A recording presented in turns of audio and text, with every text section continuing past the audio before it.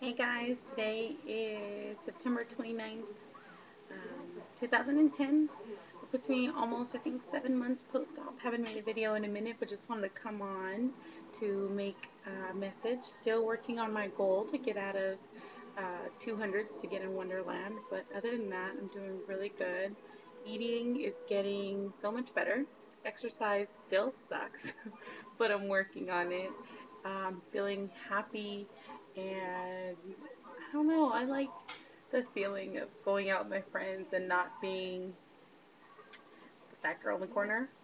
I don't know. Maybe it's just a little bit of vanity, but it's it's nice to be the one getting hit on and all that other kind of junk that's always fun.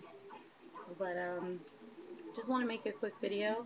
Kind of wanted to ask you guys, what are you guys doing to not get tired of eating the same foods? I get in ruts when I find something that I can eat and not get stuck. I eat it till I can eat it no more. Um, so maybe, you know, I'm looking for recipes or ideas or anything that you guys can offer. I'm going to go get another fill.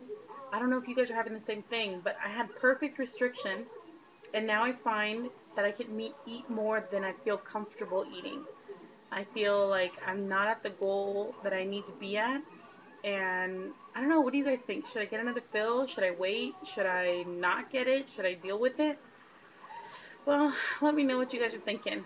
Talk to you soon. Bye.